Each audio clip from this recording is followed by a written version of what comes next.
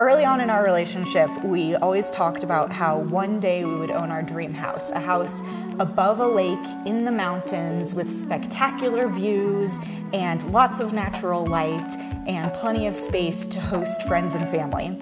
And then it just happened to turn out that our very first house that we ever bought was our dream house.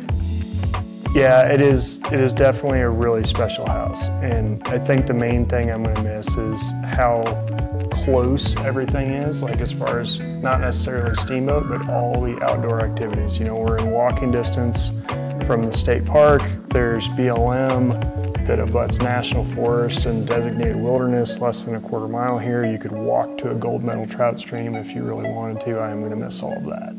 One of the things that I have lived many places and haven't found before is the quality of the community here in our neighborhood. Uh, you kind of have the best of both worlds because you don't have next door neighbors, you have lots of elbow room, um, but then you also have this really supportive and engaged community when you do want to see your neighbors.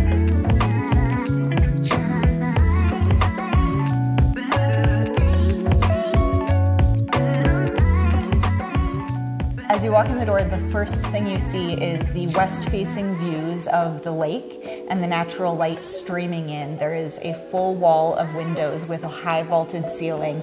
And one of the things that we love to do is just sit here and watch the sunset.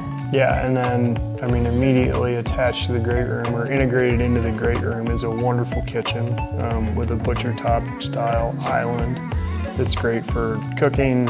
We eat a lot of meals there. Fantastic appliances, and we love having folks over for um, potluck style meals where we're cooking and socializing at the same time. And then immediately offset from that front door as you move through the room is a patio door that leads out to this wonderful deck. Again, that overlooks the lake, overlooks um, the mountains to the south, it, that is completely covered, and then has that wonderful fire pit immediately next to it.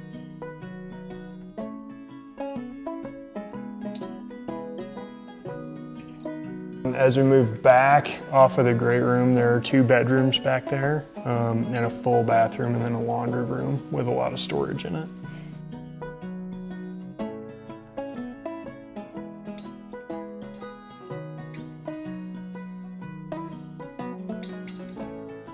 So, perched above the great room is the master suite, and that has a bedroom with vaulted ceilings, a walk in closet, and a beautiful bathroom with dual shower heads and great big custom mirrors.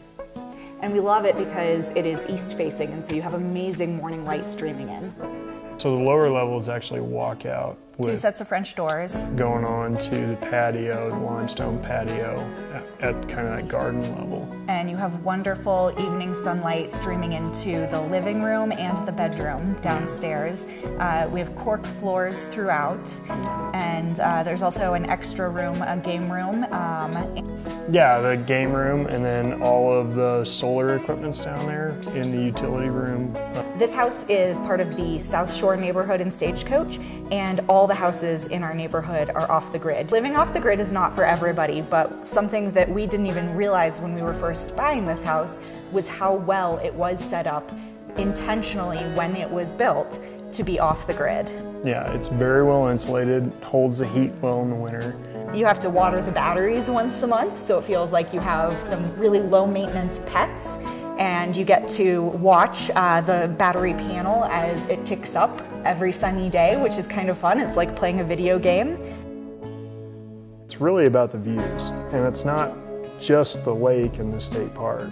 Yeah, you can see the old uh, stagecoach ski area, which is really cool. Yeah, and the flat tops, you can see the, them from here. Um, Blacktail Mountain is elk wintering habitat, so how many mornings have we sat here and counted several hundred elk walking around on that thing? Lots of wildlife, and yeah. sometimes we just sit in our living room as the sun sets and watch the sunset as though it were TV.